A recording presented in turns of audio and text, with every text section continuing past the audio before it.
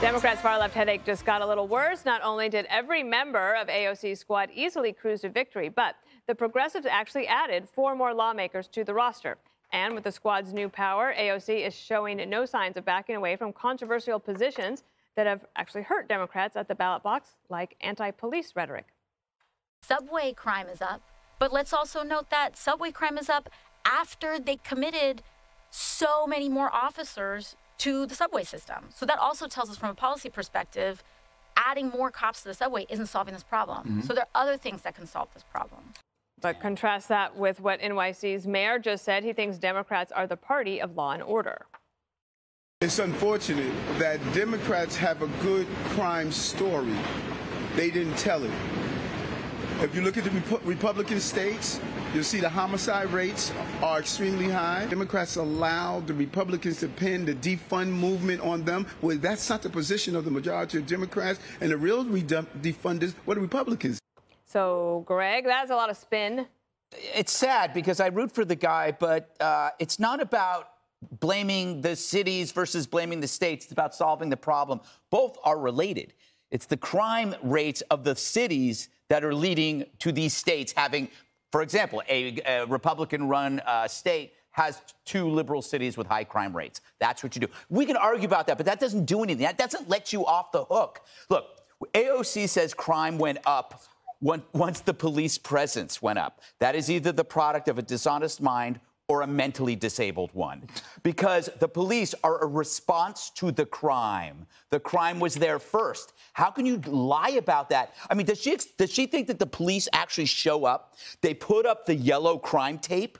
And then they go, This is where you commit the crime, everybody. Get in here. Do you think that the chalk outlines are drawn before the body's placed in there, you freaking moron? This, is, this just shows you by the way, we are so nice uh, with our nicknames. You know, Joe Biden basically denigrates Republicans left and right with stupid names, and we call them the squad.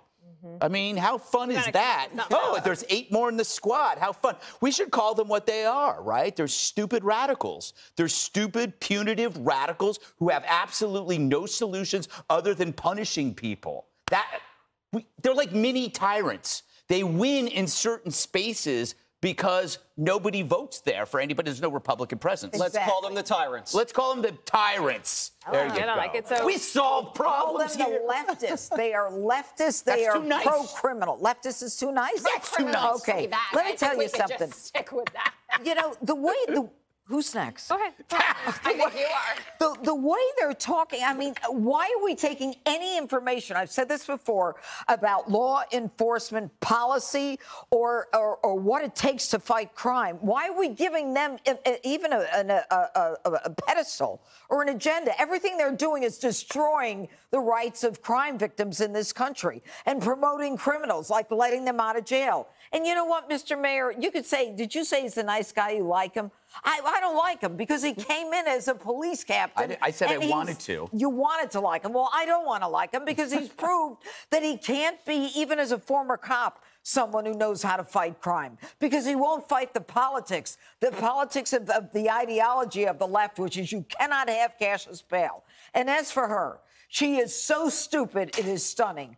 More cops cause more violence on the trains, on the subways. On the and did it ever occur to her that there might even be more crime, yeah. but for the fact that there were more police there? Right. And you know the way she thinks, it's like it's like so screwed up. One has nothing to do with the other. It's like saying everyone who's a drug addict started with milk.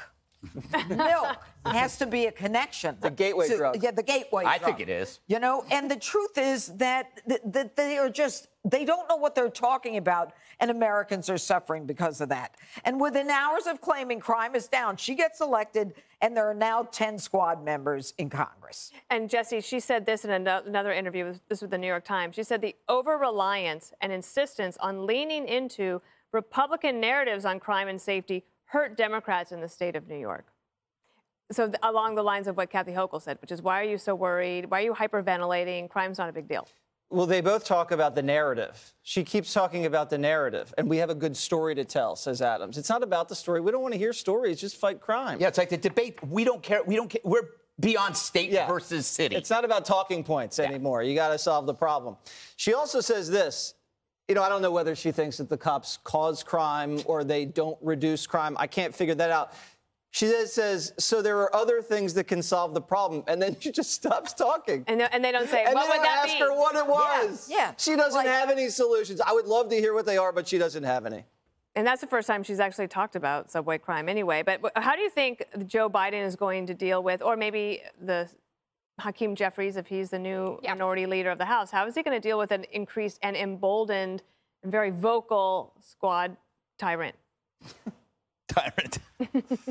I think Hakeem Jeffries, when, if, but more when he becomes speaker, is going to do very well with the squad. I mean, he has a good Does he relationship agree with with all them? them. No, he doesn't, and uh, he's a moderate Democrat. I mean, he's a lot of times there's confusion over the label progressive, right? When you look at the progressive caucus, it has over 100 members, right? And there's some people in there who are as left wing as an AOC, or even Ro Khanna, who's not part of the squad, but certainly very left wing, um, up into people who actually have quite moderate beliefs, but are part of this caucus to make sure they're part of the climate change agenda, right? And to talk about um, some more left leaning issues that matter to them. So we'll see how all of that is managed. But the point that talking about crime hurt Democrats is so utterly off base. So Lee Zeldin obviously didn't win his race, but he carried other Republicans across the finish line. And we haven't finished the tallies on all of this, but we're going to lose a few seats